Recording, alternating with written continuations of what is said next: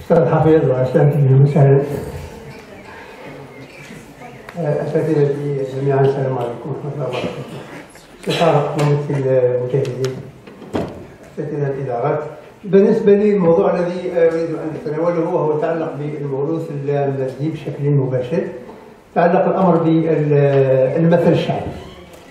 والمثل الشعبي كما هو معروف ومعلوم هو يتداول أو يتوارث شفويا.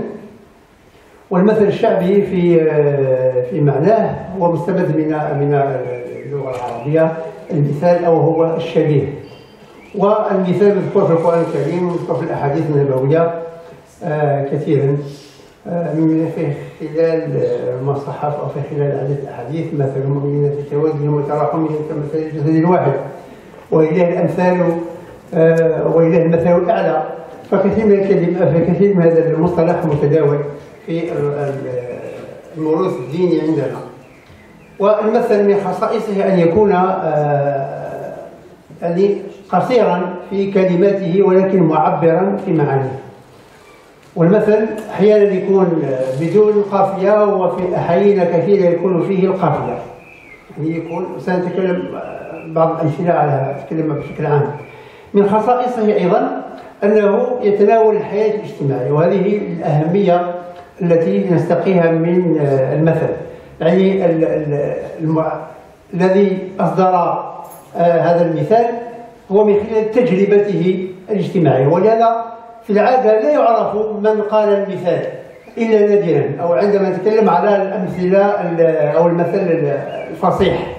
لأن هناك كثير من الأمثلة الفصيحة المتداولة بيننا. في معظمها قولها من قالها. قال المتنبي مثلا أكبر ربما ما يستشهد بأشعاره وهو المتنبي. في أمثلة يقول قال زهير بن أبي سلمى مثلا قال طرفة بن العبد.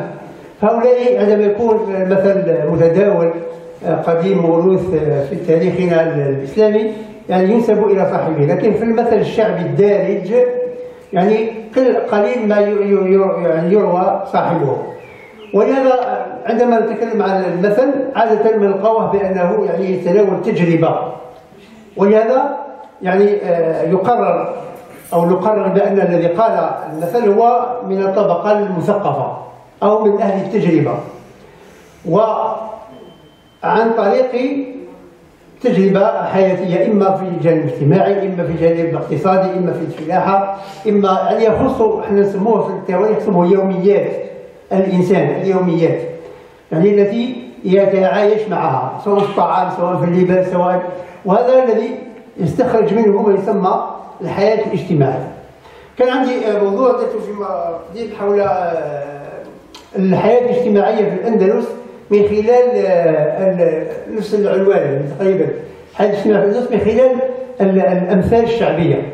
حتى في الأندلس كان عندهم أمثال شعبية.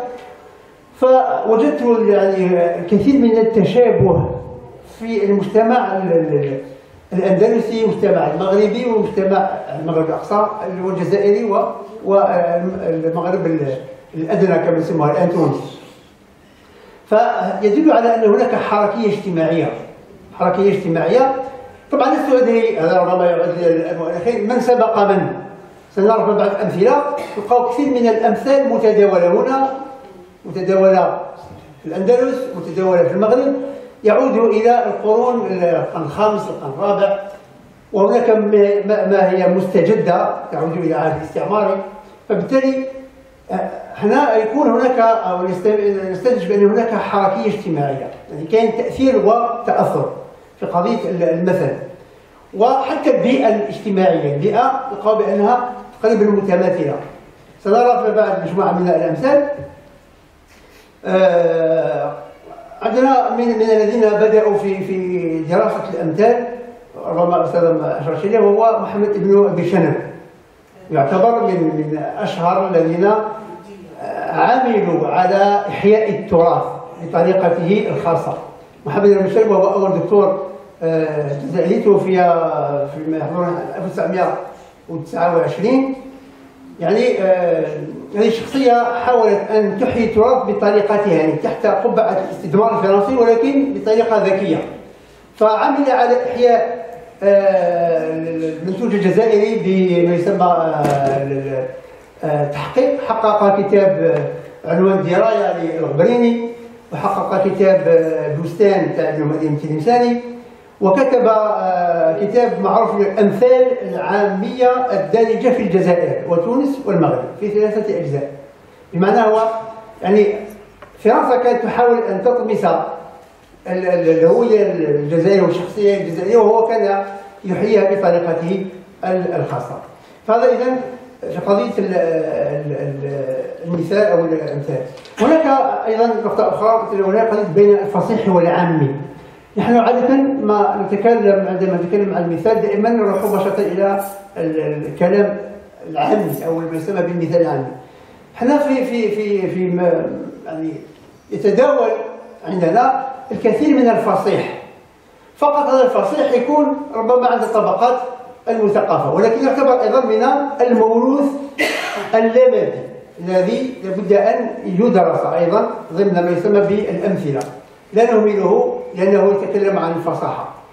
ومعلوم أن المثال الذي يحافظ على نفسه بمعنى المجتمع تقبله أو وجد فيه ما يعني يعالج مشاكله. ولهذا بعض الأمثلة ربما ربما تكون في التاريخ أمثلة زالت.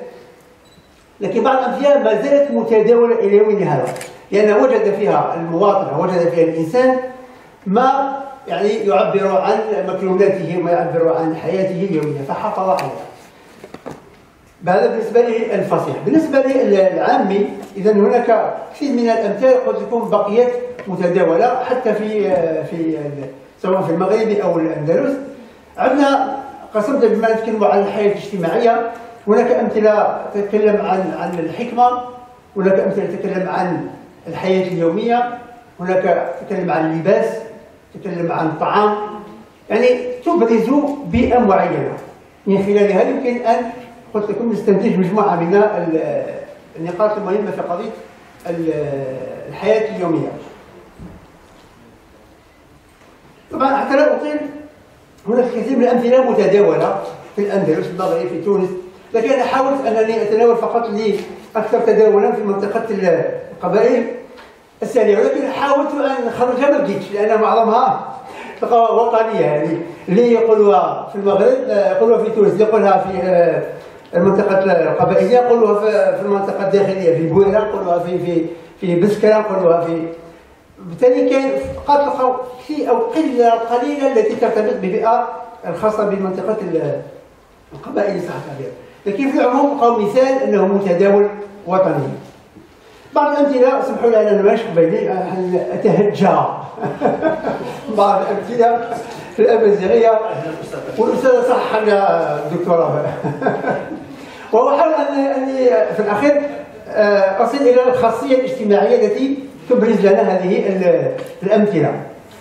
آه، عندنا من الأمثلة في الحكمة طبعا نتكلم بعضها متداولة آه، باللغة الأمازيغية. وبعضهم متداول باللغة العربية. بما أننا نتكلم على مجتمع الأمازيغي أو مجتمع القبائل السامية يقول مثلا مثلا يقول أرتاما هو الخداع. لا تثق بالناس ولا تخدعهم. إذا هذا يدخل في باب الحكمة. في الجانب العربي يقول لك تخرج ربي عيان يكسيك إذا هذا يعني يضرب للصراحة والصدق. فالأمثلة فقط باش يقول لك نكني نتحبر ربي يتدبر يعني حنايا آه آه الانسان يفكر ويسعى. وطبعا آه واحد كلمه في البال آه يقول لك هذا يقولوا بزاف الدلس يقول لك قليل الحوت على اللي بابا حوات. قليل الحوت يعني بابا حوت بمعنى ما تكلفش واحد اللي بابا حوت تقليل الحوت في قلب كيف يقلب على خبره أيوه. كاين مثال أيضا معروف يقول لك آه، آه، هنا اعطيه لي فهم ولا لا؟ أقرأ يقولها كثيرا هذا في الحكمه في آه، اللغة الأمازيغية يقول لك آمين يطفف آمين يطفن دقوامان ولا دقوامان يعني كالقابض على آه آه كما قالت كما قال. أقد جون إكلبن ذي ذي مولان أي تحكم يعني قال لك الكلب المصاب بالكلب لا يهتم به إلى أهله هكذا؟ آه أيضا من لم يكن ثعلبا أكلته الذئاب. وهذا أيضا متداول في بلهجته اللغوية. العربية يعني. عندنا أيضا مثال آه يتكلم على آه بعض أمثلة كثيرة. في قضية الحكمة اللي فات وقته ما يطبع في وقت حاضر ما شاء الله. آه، ما يحسب الجملة غير إذا هذه كلها متداولة كثيرا عندنا. إذ وحدة ما ما تصفق ونفس المثال قواه باللغة الأمازيغية. آه، آه، عندنا أيضا واحد آخر يقول لك يسلو ذو مكسى يسس ذو شن يبكي مع الراعي ويأكل مع الثعلب وحنا نقولوا ما يأكل أيوه هذا نفس المعنى الخاصية الاجتماعية اللي استخلصتها هنا يقول لك من هذه الأمثلة يتبين ارتباط الأمازيغي بالطبيعة. يعني دائما نلقى بان يتكلم على وشن يتكلم على اقجون يتكلم على ونفسه بمعنى كان كان المثال كان المثال الذي يتداوله في منطقة القبائل هو مثال يخص البيئة. يعني هو عايش مع البقرة عايش مع يربي البقرة يعني مع الرعاة. فدائما هذه الأمثال تكون تكون من من البيئة التي يعيشها. نروح إلى آه، موضوع آخر يتكلم عن عن الحياة اليومية. الحياة اليومية طبعا أمثلة فقط. الحيط يسعى أه يسعى يمزوغ لك الحائط له؟ وحنا نقولوها بال وأنا حتى الجهة العرب يقولوها بكلمه إحنا نقولش العرب القبائل لأن تقريبا الآن وهذه نقطه مهمة. الآن المجتمع الأمازيغي يعني يعني اللي يقول لك أنا أصلي كذا ويقر بذلك ويتحقق بذلك فهذا طبعا غير صحيح.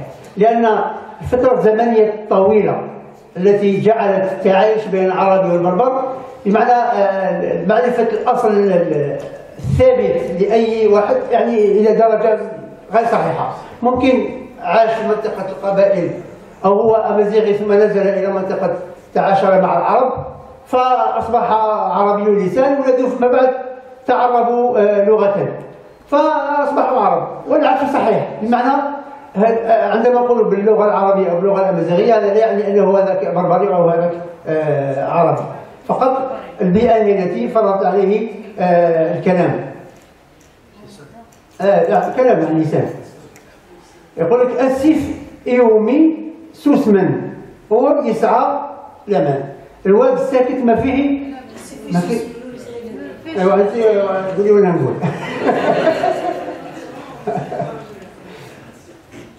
قد يقولون موجود بالعربي وموجود بنفس في قضية يناير يناير درت عليها واحد المره دراسة يناير هذا. فكثير من إحنا عندنا يقول لك يناير هو امازيغي بحت وكذا. لكن ابن رشد في القرن الخامس سئل في الأندلس عن يناير هل يجوز الاحتفال به أم لا؟ حتى أمثال أندلسية تتكلم عن عن يناير فبمعنى ماهوش فقط في البيئة الجزائرية الموجود يناير أو في منطقة بلاد المغرب. حتى في الاندلس حتى الأندلسيين كان عندهم آه هذا يناير يحتفلوا به سنويا بنفس الطريقة. فقط ربما يختلف الوقت. ويديروا الطعام ويديروا الحلويات كما إحنا أيضا نديروا طعام ويديروا الحلويات. آه في يناير آه مثال هذا الاندلس يقول في يناير له حلفتك للحماية. ودير قمحك خماير يا الحي يعني في يناير اللي ما ذاك اللفت خاص وقتها. يعني يروح يبدا الحمير. ولا عنده القمح. يعني آه خلاص وقته ياكلوا ياكلوا عجينه يروح يديروا يعني وياكلوا خلاص وقته هكذا فهذا كاين أيضا مثال آخر. آه إذا إذا روات في الناير نقص من الخماير وزيد في المطاير بمعنى نقص من مدخلات المطامر المطمرة المطمرة هي اللي يخبوا فيها الماكلة ويزيد في أخاديد الحرف على مثال آخر في الحياة اليومية ربما كثير نعطيكم مثال أو زوج. آه، أعلر ما الثروي عندي خمية. أنا ما الثروة. كملي. كمل أنت كمل استني أقروي غني. البطن اذا شبعت يقولوا يقول السني وقرو يغني أيوه يقول الراس روح يهرب الاستاذ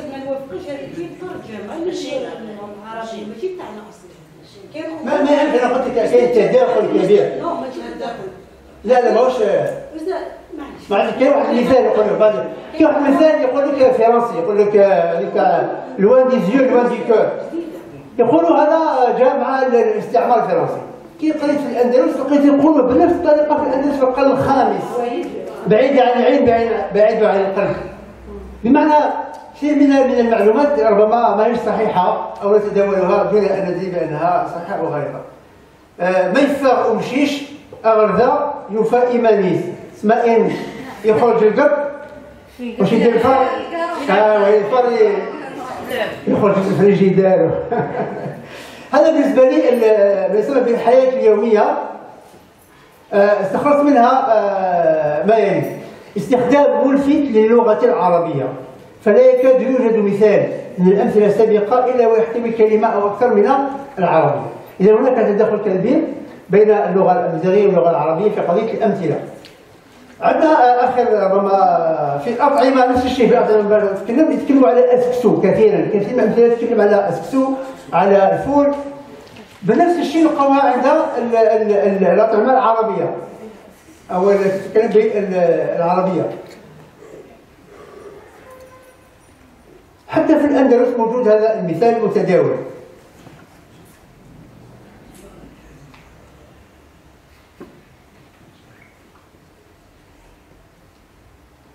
إلا سكسو آه إلا سيسو. إلا سيسو إلا أقليل نسكسو صحيح ما غلطش؟ يوجد الرديء منه طبعا يوجد قال لك السيء ويوجد الممتاز.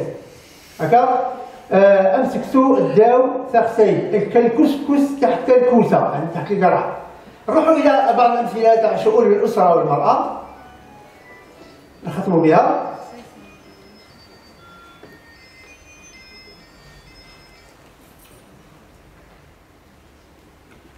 طبعا الأمثلة على المرأة موجودة بزاف يسموها ثمطوط أو يسموها ثقشيش هكا.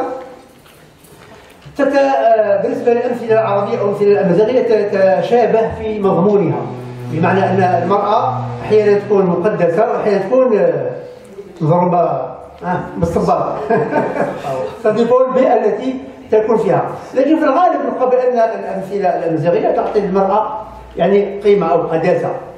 عندنا آه يقول لك آه، وبعضها تلقاوها يعني متداوله حتى بال- بال- باللغة ال- العربية. عندنا في المرأة والأسرة ثقشيشت الصرابات من غير أيوه الفتاه كالقمح اينما وجدت تنمو وهذا طيب بنفسه نلقاوها به ال- ال- العربية. المرأة كالشعيرة وين زرعتها تنبت.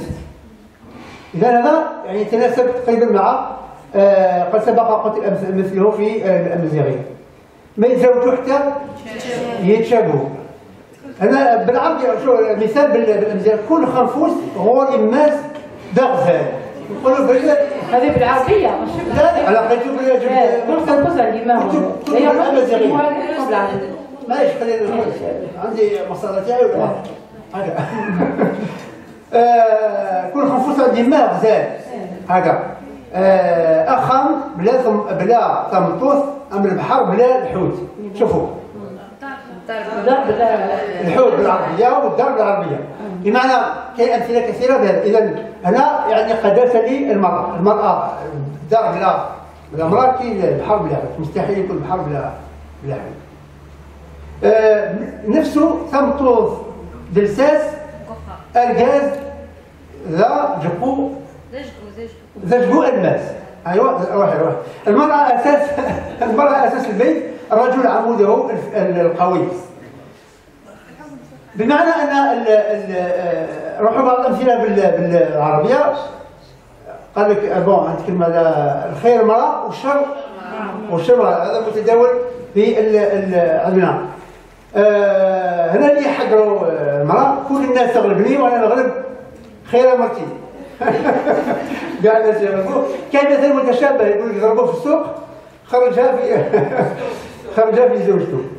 يعني هذا بالنسبة لي بعض المثال في ال في ال في ال الخاصية الثانية هو تمجيد المرأة وتقديرها على العموم في الوسط الاجتماعي البربري أو الأمازيغي وهذا ما توحي به الأمثال السابقة. إذا هذه الأمثال هذا ك ك- ك اردت ان ان اضع بعض اللمسات حول ممكن قضية الدراسات الاجتماعية أو حتى الدراسات الاقتصادية. واش كانوا يزرعوا؟ الفلاحين واش كانوا يأكلوا؟ الأسر؟ واش كانوا يلبسوا؟ فكله يمكن أن نستمده من خلال هذه الأمثال. كنماذج حتى الحياة اليومية الحياة الاجتماعيه ماذا قدس ال- ال- ال- السكان من خلال هذه الأمثال. وهذا الذي يعطينا أهمية كبيرة لدراسه أمثالنا الشعبية ودراسة موروثنا النبوي شكرا ومعذرة على الإطالة. واسمحوا لي اردت بعض